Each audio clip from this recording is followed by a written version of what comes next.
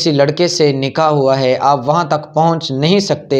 तो इस आयत को बकसरत असलकम वरहमल वबरक उम्मीद है आप तमाम अहबाब खैरियत से होंगे। मैं दुआ करता हूँ अल्लाह जल्ला शान हो आप तमाम मुसलमान भाइयों, बहनों को हर किस्म की बला, हर किस्म की वबा, हर किस्म की मुसीबत से महफूज फरमाए। मुझे इंस्टा पे बहुत सारी बहनों के मैसेजेस आए, जिनमें अक्सरियत का यही सवाल था कि मेरे शौहर हैं जो कि मेरी तरफ़ तवज्जो नहीं करते और दूसरी औरतों में दिलचस्पी रखते हैं।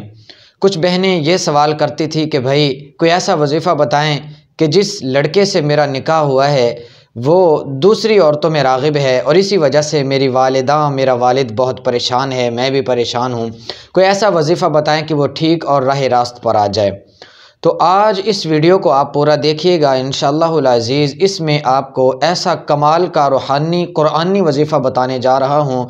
इन अज़ीज़, अगर आप खलूस नीयत से करेंगे और अल्लाह तबारक व ताली की बारगाह में उम्मीद रखते हुए करेंगे इन अज़ीज़, आप नामुराद नहीं होंगे, अपना मकसद में ज़रूर कामयाब होंगे। अगर किसी मुसलमान बहन का शोहर जो है, वो ालिम है या बेतवजही का इजहार करता है, यानी कि अपनी बीवी की तरफ़ तवज्जो नहीं करता, दूसरी औरतों की तरफ़ रागिब है तो उसके लिए एक मुजर्रब अमल है, कुरानी अमल।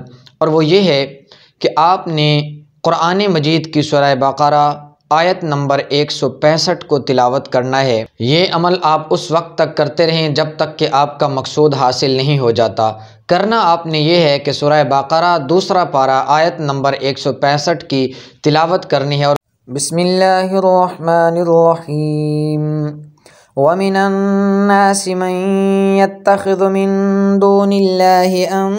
वमिनन्नासिमन यत्तखिज़ु वल्लज़ीन आमनू अशद्दु हुब्बन लिल्लाह वलौ यरल्लज़ीन ज़लमू इज़ यरौनल अज़ाब अन्नल कुव्वत लिल्लाहि जमीआ व अन्नल्लाह शदीदुल अज़ाब आपने ये आयत तिलावत करके मीठी चीज़ पर दम करना है और जैसे ही जैसे आपको मौका मिले, आप अपने शोहर को खिलाते रहें।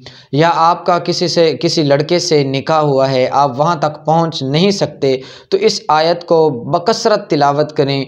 और रब ताला की बारगाह में, तन्हाई में दुआ करें। इन अज़ीज़, ये अमल ऐसा है कि जो बिल्कुल मुजर्रब है, बहुत सारे लोग इसको जो है ना अमल में लाते हैं। इन आप भी इससे फ़ायदा उठाएँ। उम्मीद है अल्लाह ताला की वसी रहमत पर कि इन अज़ीज़, इस अमल की बरकत से अगर शौहर ालिम है तो रहम दिल बन जाएगा। अगर तवज्जो नहीं करता तो उसकी सारी तवज्जो अपनी औलाद और अपने घर वालों की तरफ़ होगी। इन अज़ीज़, आपके ये मकसूद जो है इन आपको ज़रूर मिलेगा।